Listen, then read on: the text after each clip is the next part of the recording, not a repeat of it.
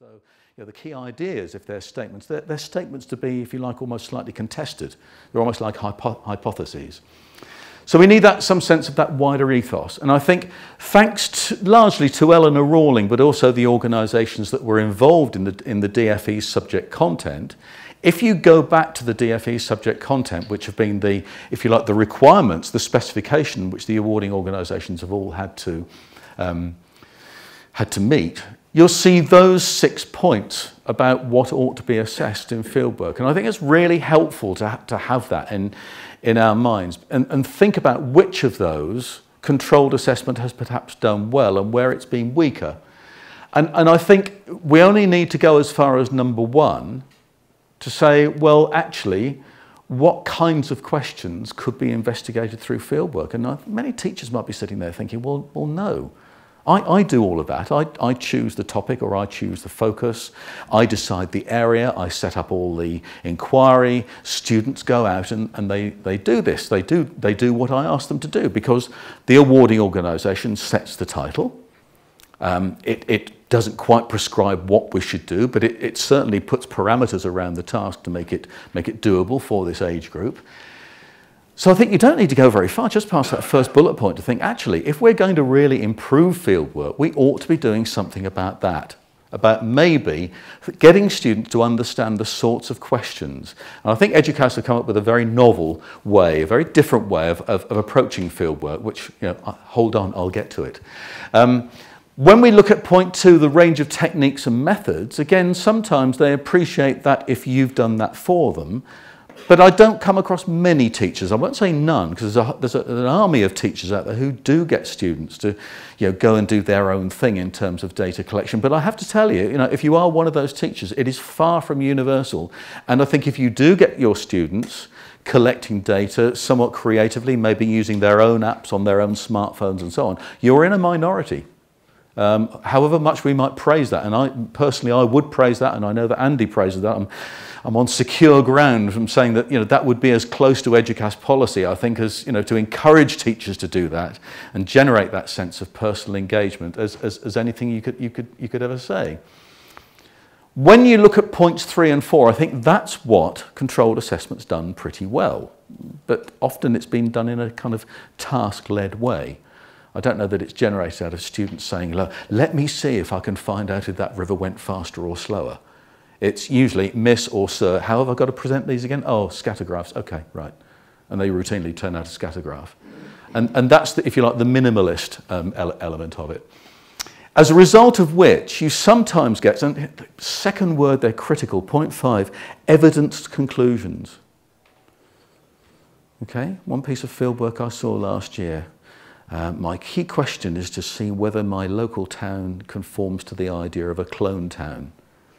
And the student went out dutifully, did everything, did questionnaires, land use maps. We saw all the charity shops and that sort of thing. There were several ways. The teacher really set it up well. Actually, this really wasn't a clone town. There were certain bits of it that were a bit of a clone town with its charity shops in the, in the town centre and so on, but it really wasn't. So the student had set up all these methodologies, analysed it, and you thought, great, the student's really well. And then at the end, yep, my town's a clone town. As though the evidence that they collected meant nothing as though they thought that really perhaps they ought not to be challenging the question that the teacher had set up for them.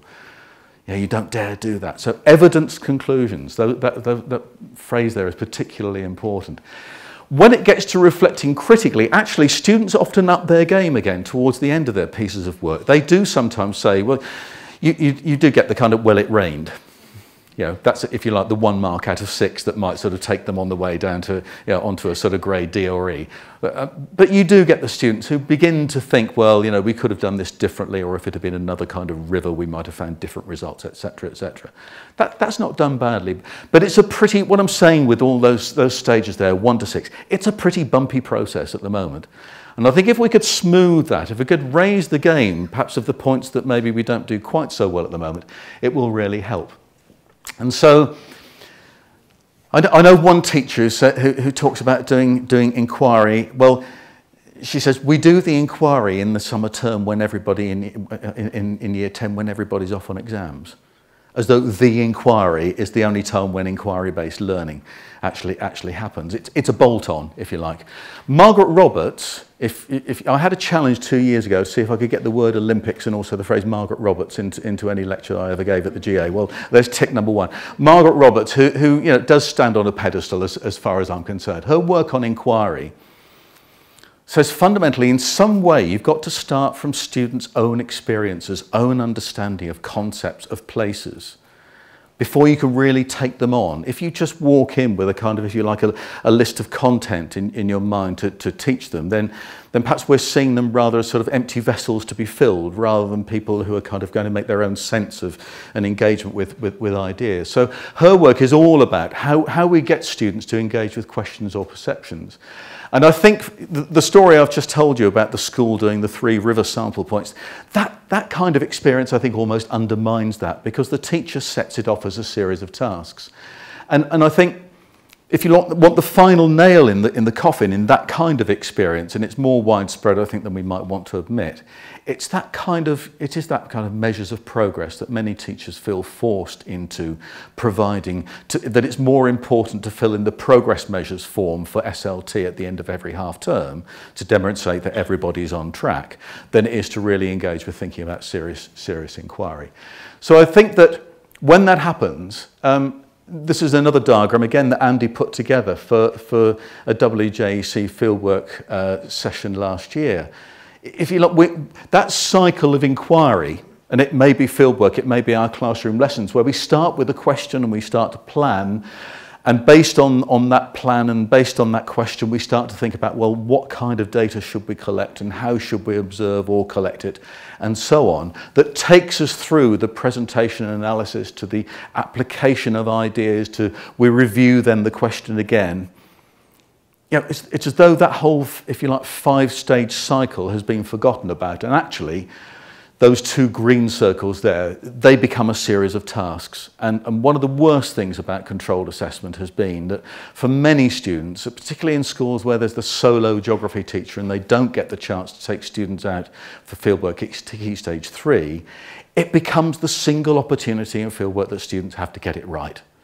It's not as though there's a kind of pilot that they can sort of play around with. And I do know a few schools now, particularly in those schools who, who are doing three-year GCSEs, where they feel actually that gives us a bit more time and maybe we'll set up a kind of dummy run fieldwork in year nine just to help students getting, get to engage with the, the whole outdoor environment and how we, how we collect information. And that begins to open up and get away from that rather sort of task-led um, procedure. And, and Margaret Roberts' work is, is really based around three models of inquiry.